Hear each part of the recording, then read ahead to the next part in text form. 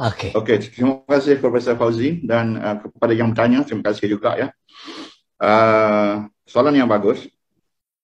Uh, kebahagiaan orang Malaysia ya selepas uh, pembentukan Malaysia pada 1963 telah di telah dirampas oleh pemimpin-pemimpin resis sama ada di Melaya ataupun di Sarawak.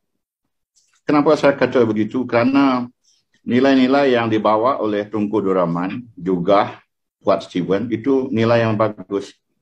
Duduk bersama, berfikir, berbincang, apa yang tak senang kita bagi uh, perundukan untuk menyenangkan semua. So jadi this is within the context of accommodation, uh, uh, cooperation, give and take the spirit. This is a, this is a good spirit.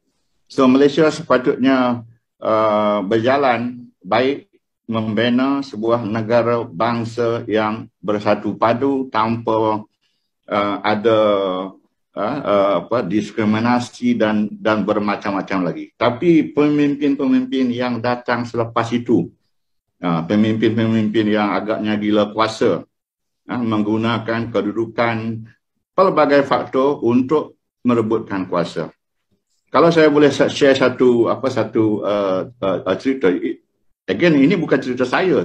Cerita yang saya baca dan dah tertulis dalam buku sejarah. Uh, selepas pembentukan Malaysia, Perdana Menteri yang kedua dia apa dia melancong dia bukan melancong lah, dia dia dia visit uh, membuat satu lawatan kepada Kapit. Uh, dan dalam satu ceramah agaknya kena belasah oleh Tun juga lah. Uh, tak jadi tidur ke Kapit balik ke Sibu pada malam yang sama juga. Nah, jadi jadi juga masa itu hanya menerangkan apa kekurangan kapit setelah 2-3 tahun Malaysia ditubuhkan. Jadi uh, agaknya salah tafsir lah. Uh, juga tu tadi nak nak memberitahu apa yang kurang, yang perlu dibetulkan, yang perlu dibawa.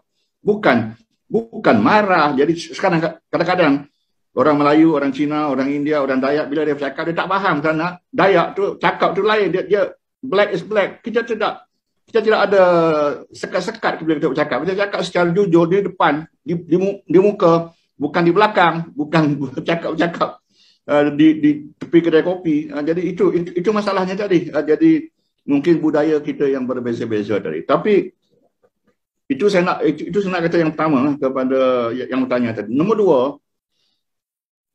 janji-janji itu dah bagus. Bekerjasama, berkongsi kuasa, tapi semua ini tidak diendahkan selepas uh, uh, apa pemimpin lapisan pertama. Eh, kalau di Sarawak misalnya selepas kalau Ningkan, selepas Tawisli, uh, semua itu sudah tak diendahkan oleh ketua menteri yang kedua dan yang ketiga, eh, yang ketiga dan yang keempat. Cuma yang kelima, yang keenam tu baru nak nak kembalikan. Kembalikan apa? Benda tu ada ada di situ dah. Tak perlu dikembalikan. Laksanakan saja. Kembalikan kalau dah benda tu dah hilang, baru kita cari balik benda itu tak hilang cuma tak di tak dilaksanakan. Kongsi kuasa. Kongsi kuasa kalau uh, orang Islam sudah ketua menteri governor patut orang bukan bukan Islam patut orang Dayak lah. Uh, orang Cina ke. Uh, jadi itu ini sekarang ni uh, di di monopoli di satu satu etnik jadi itu sudah sudah ingkar perjanjian. Orang Iban dia tidak bila dia berjanji dia tidak tulis dalam kertas hitam putih. Uh, jabat tangan dah cukup dah. Uh, jadi bila jawab tangan itu tadi, aja itulah masalahnya tadi nak bawa ke mahkamah tak boleh kerana tak, tak ada bukti. Ha, jadi orang iban itu tadi itu itu janji yang ikhlas daripada hati. Ha, itu janji Malaysia itu banyak yang tidak yang tidak tertulis.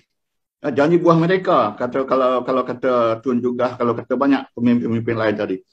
Bila musim buah kita tengok kita tengok orang makan buah bila kita sampai ke dusun buah itu pun dah habis dah dikebah oleh semua orang. Ha, jadi yang tinggal tu kulit saja untuk kita. Ha, jadi itu itu uh, itu apa itu masalahnya. Tapi uh, Prof Fauzi dan tuan-tuan dan perempuan yang saya hormati sekalian, benda-benda ini tidak akan kekal lama lah. Eh, kerana socialization sebagaimana yang disebut oleh uh, Prof uh, Faruqi tadi, orang semua sudah sedar sekarang. Dulu kalau 60-an tu you boleh tipu lah, you boleh tutup mata dia. Sekarang tak boleh dah. Ha? Ha you boleh sekat dia masuk keluar TV1, TV2 dan TV3 tak mengapalah. Ya, dia orang ada WhatsApp group dan, dan macam-macam. So jadi now is no longer 1960, 1970. Change will come and kita harap change tu is uh, bringing stability lah uh, bringing stability and will not uh, tidak akan menggugat Malaysia Malaysia tu bagus pemimpinnya yang perlu dibaguskan itu je